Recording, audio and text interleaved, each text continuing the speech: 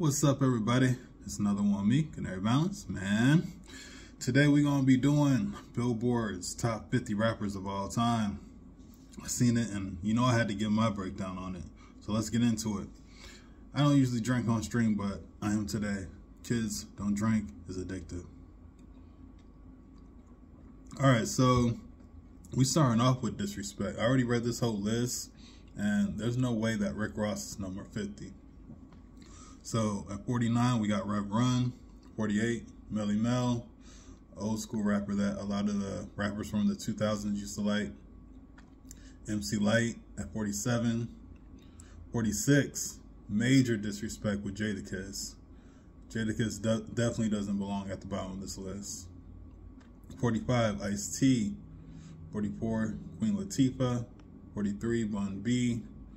42, Redman disrespectful. 41, E40, 40, Dr. Dre.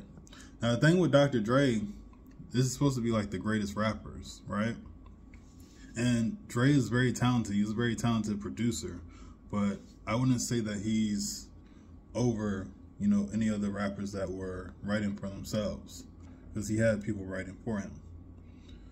39, Ludacris, disrespectful. 38 Gucci Mane, 37 Common, 36 Mos Def, 35 Future, 34 Chuck D, 33 Busta Rhymes, 32 T.I. Disrespectful, 31 Lil Kim, 30 Lauryn Hill, 29 Pusha T Disrespectful, 28 Black Thought Disrespectful, 27 Q-Tip, disrespectful. 26, Big Pun, disrespectful. We got 25 with Method Man, 24, KRS-One, 23, Kurtis Blow, 22, Ghostface Killah, 21, DMX, major disrespect. 20, Big Daddy Kane, 19, Missy Elliott, major disrespect. 18, Ice Cube, 17, 50 Cent. 16, Scarface. 15, J. Cole, Major Disrespect.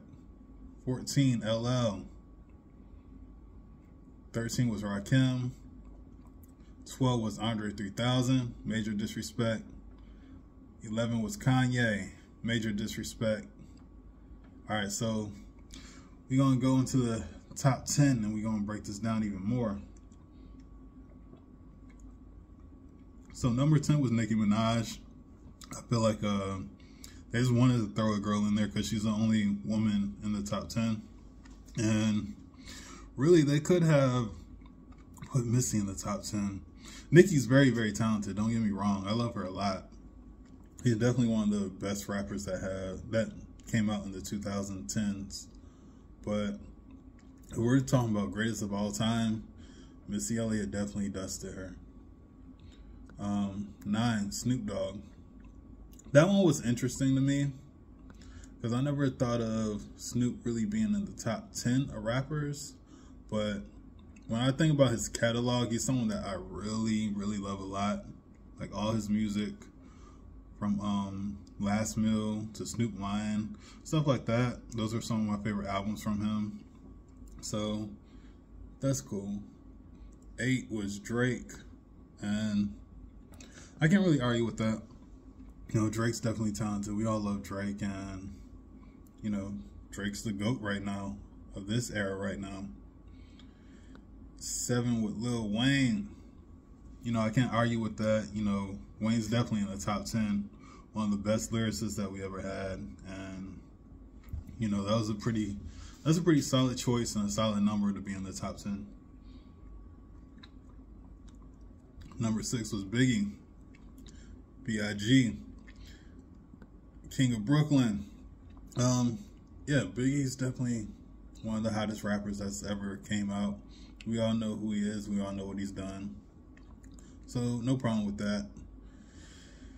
All right, so I have an unpopular opinion. Number five was Eminem.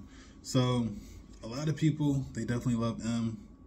M is like definitely one of the most lyrical rappers ever to come out, right? But it's just for me personally, subject matter wise, he has a lot of music that I really can't go back to. Like when I hear it today, it just don't sound right. It don't come off right. It's not something that I care about or support now being grown. It was funny as hell when I was 12 years old listening to him for the first time. But like me as an adult listening to some of his older music, I just don't feel it like that. Then, you know, I know he's came out with new albums in the past few years. He was working with uh Royce da Five Nine and Joe Budden and Joell Ortiz and Crooked I and all them. And I definitely love those songs, but for me, Eminem just I don't even know if I would put him in my top 20, guys. Um, number four, Tupac. Definitely love Tupac. He definitely belongs in the top five. He's in my top five, so I have no problems with that. Number three was Nas. Again, Nas was uh, one of the best. He's probably the most well put together rapper we've ever had. Like lyrically, everything he says and does is so perfect on beats. When he has the right beats, he always like has the right flows. He says the right things. He makes you think a lot. So that's one of the things I love about Nas. For me personally, he's in my top two. Now we have uh, Kendrick Lamar number two, and you know Kendrick is dope.